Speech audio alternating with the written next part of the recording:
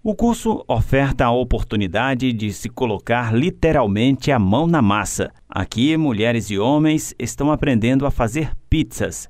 E tudo isso graças a uma parceria entre o Centro Educacional São Francisco de Assis, no bairro Seriema, e o Serviço Nacional de Aprendizagem Comercial, o Senac Caxias. Mais 25 pessoas estão fazendo este curso, né? estão aprendendo, se aperfeiçoando em fazer pizza, né? principalmente nesse tempo, né? que as pessoas estão assim procurando fazer essa mudança, oportunidade para estar tá aumentando ou criando mesmo, gerando renda né? para a sua família. Ela abrange pizza salgada e pizza doce e também a elaboração das bordas. Todo o processo como se faz, do início, da preparação da massa, do recheio, dos molhos que a gente usa. Ao todo, são 25 alunos e alunas que estão recebendo conhecimentos teóricos e práticos que perfazem um total de 20 horas.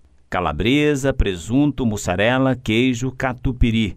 Para além de cada ingrediente, os alunos e alunas têm em mente a possibilidade de transformar o resultado do curso em um negócio rentável mais à frente. Em casa, a gente sempre tem aquela coisa de caprichar mais, os melhores ingredientes ou a quantidade a mais, e aqui a gente acaba tendo essa dosagem necessária para poder fazer e comercializar. Essa é a primeira experiência que eu estou tendo com, com massas e está sendo muito gratificante, porque é um aprendizado e está sendo muito legal. A turma é muita gente boa, todo mundo dedicado a aprender.